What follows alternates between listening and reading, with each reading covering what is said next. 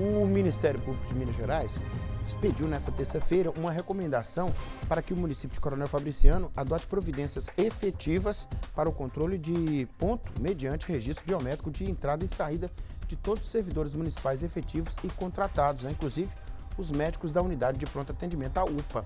Para falar mais sobre esse assunto, eu vou chamar a Gisele Ferreira para repercutir isso com a gente aqui. Gisele, por favor. Recomendação do Ministério Público é para que a equipe médica da unidade de pronto atendimento de Coronel Fabriciano registre a jornada de trabalho, assim como os demais servidores, por meio da biometria.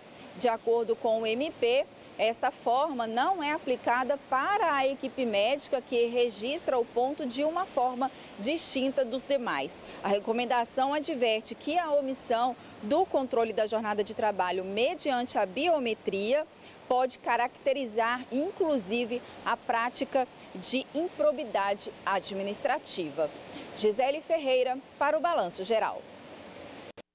É, vamos aguardar os desdobramentos disso, né?